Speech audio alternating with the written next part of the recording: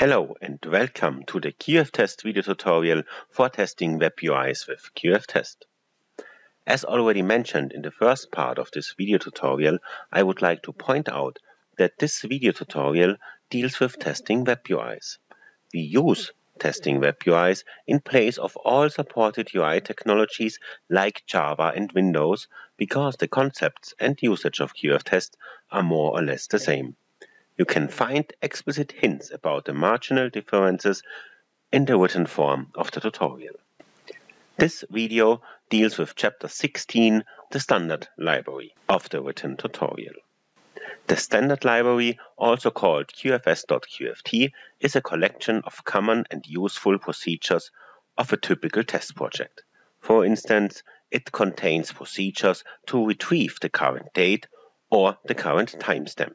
Those procedures can be used in every test suite. Such a procedure library becomes necessary because the provided QFTest nodes can't cover every possible use case. As complex tasks like retrieving the current date will be solved by scripts within QFTest, such procedures offer a simple approach to access that functionality without the need of scripting. Those procedures are provided by QFTest and can be found in every installation of QFTest. Today, we learn how that QFS QFT library can be used by a test suite. Then we will browse through the possible procedures. And finally, we will take a look at various procedures and their intention. How is the standard library QFS.QFT connected to a test suite? At the topmost test suite node, you will find the include files in its details, and there you find an entry QFS.QFT. This entry means to QFTest that a test suite called QFS.QFT located in the standard include folder can be used within the current suite. The standard include folder can be found in the default installation folder of QFTest as a folder called include. In order to browse through the content of that QFS.QFT library, I will open it now. So I press open file on the QFTest toolbar and then I switch to the QFTest installation directory. And there I will find the include folder. And inside that include folder, I will find the QFS.QFT library, which I'm opening now. This test suite contains a package called QFS, which consists of various other packages again. Every package covers a dedicated topic. So let's take a look at the most common packages. First, we will check out the package check, which contains useful procedures to check values or to perform numeric comparisons or checking date values. Another interesting package is the package database, which consists of procedures interacting with the database. So you can call select statements or any update or delete statement of a database directly from QFTest. In the package run log, you can find procedures to write custom error messages, custom messages, or custom warnings to the QFTest run log. There is even a procedure to take a screenshot on demand and write it immediately into the run log then. The package shell utils contains procedures to interact with the operating system directly. So you can copy files, you can delete a file, or you can create a directory. The very big package utils contains lots of useful procedures, like the random package, which brings procedures to create random numbers or random strings in order to create unique test data, for instance. And there we will also find the procedures get date, get time, and get timestamp to get the current date, the current time, or a current timestamp in milliseconds.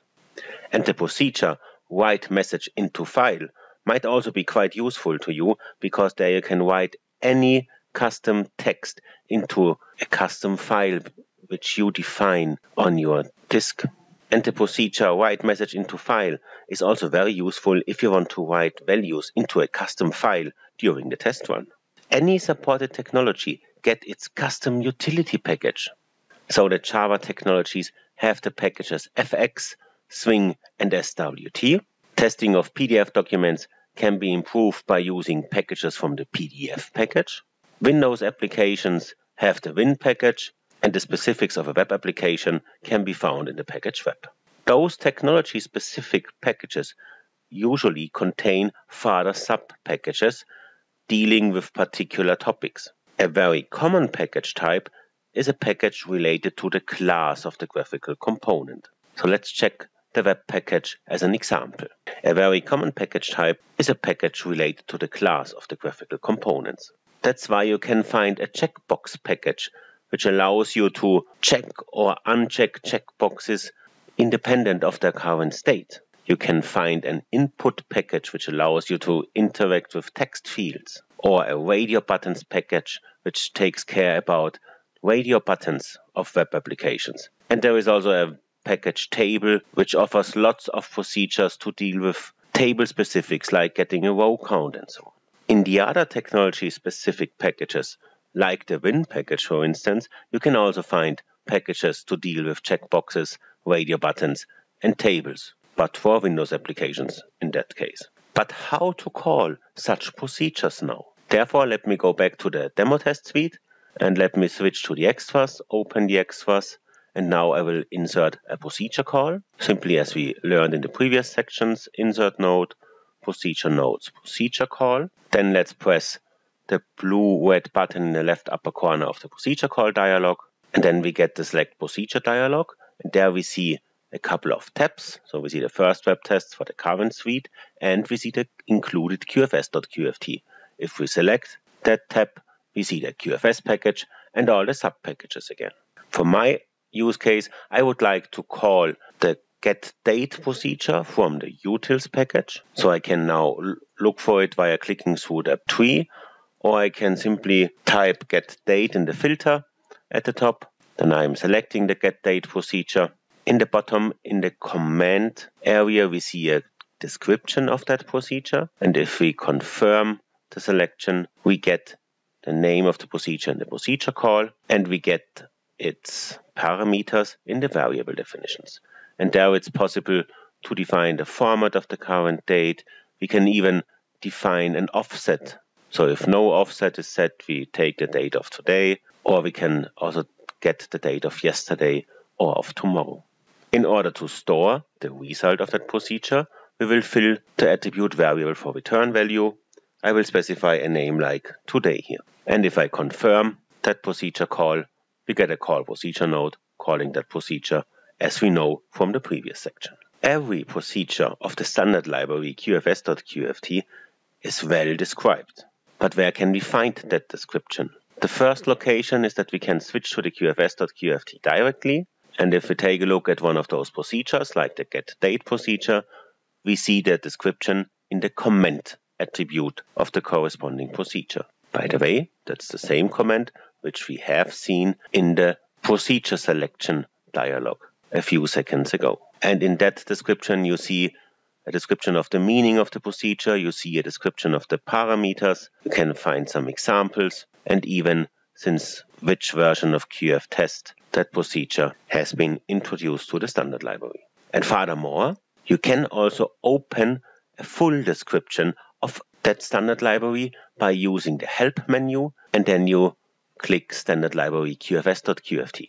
If you click that, an HTML package documentation of the QFS QFT standard library gets opened and then you can walk through all the packages and if you click one of the packages like the Automake package in my case you jump to the package you see the package specific documentation and the procedures and the procedures including their documentation. And that brings us to the end of the chapter today. So we can use the procedures of the standard library in every test suite as it's included by default to every test suite. If you want to explore that library, you can simply open it or you insert a procedure call node to see all procedures which are available.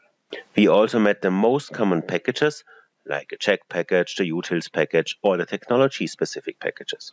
All those procedures are well described and the documentation can be found from the menu of QFTest. Today we learned that the standard library QFS.qft contains lots of useful procedures which solve common challenges of a test automation project, like retrieving the current date as I have demonstrated.